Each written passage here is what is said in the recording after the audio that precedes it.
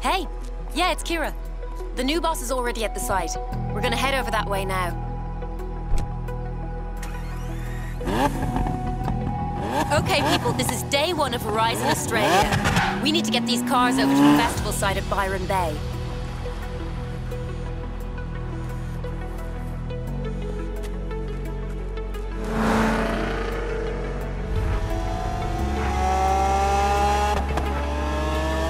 Listen up, Australia. This is Scott coming to you live from Horizon Radio.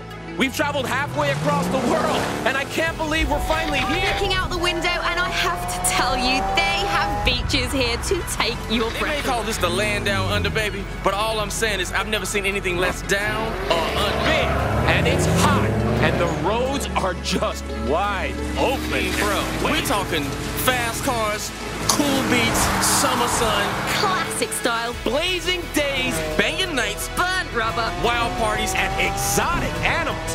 So put your pedal to the floor as we welcome you to Horizon Australia for the biggest, the best, the most out of control event in the history of the Horizon Festival.